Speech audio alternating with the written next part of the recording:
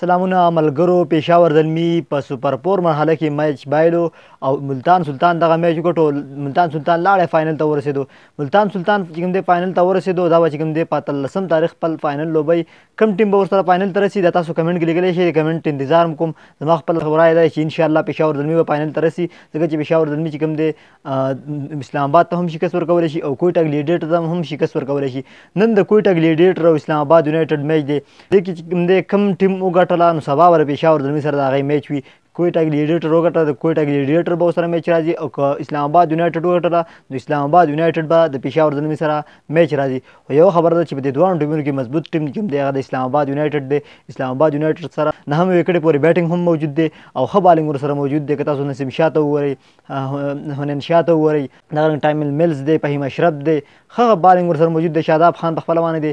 او بیټینګ که تاسو وګورئ نو بیټینګ څخه هم د نهمې وکټ تقریبا اماد وسیب پورې څخه ټیټ بیټینګ موجود دی د نه علاوه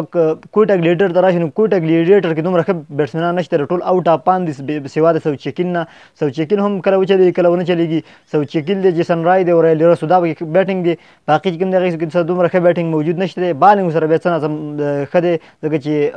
نسرین دی محمد عامر دی نو بالنګ سره ښه شته خو بیټنګ د هغې سره دومره نشته دی خو مضبوط ټیم چې کوم دی هغه د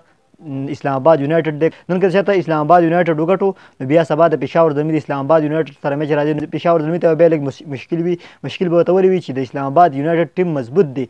او که دغه میچ بیا چا وګټو نو سیده ځي د ملتان سلطان سره به فاینل لوبوي سبانه به چې چا وګټو مطلب نن خو د کوټه ګلیډیټر او د اسلام آباد یونایټډ دی که په دې کې چا وګټو سبا به د پېښور زلمي سره سیم فاینل میچ وي چې په هغې کې به چا وګټو زی به فاینل ته پرون میچ کې چې کوم دی نوین الحق نو نو نوین الحق قسمت چې کوم دی ډېر ښه قسمت او دا قسمت په وجه به چې پېښور زلمي چې کوم دی اکثر میچونه ګټل نو نوین الحق نو نو پېښور زلمي چې کوم دی هغه میچ هم وبیلو نو یو قسمت خور کې لاړو قسمت پسې خبره ده اصل خبر قسمت پسې ده دغه قسمت خو هغه چې په کم میچ کې لوبېدلی پېښور د میچ ګټلی دی په کم میچ کې چې نشته دی نو هغه میچونه یې بېللي دي دا یې څلورم میچ و پېښور د میچ چې کوم دی دا میچونه وبېلل دې کې نوین الحق نه و په کوم کې چې نوین الحق لوبیږي بل ورځ 148 رن کراچۍ ته ټارګټ ورکړی او هغه ډېر اسان ټارګټ و په پای کې نوین الحق و قسمت د پېښور درمي سره وفا وکړه او پېښور درمي دغه میچ وګټلو خو بهرحال الله دې وکړي چې نن چې کوم دی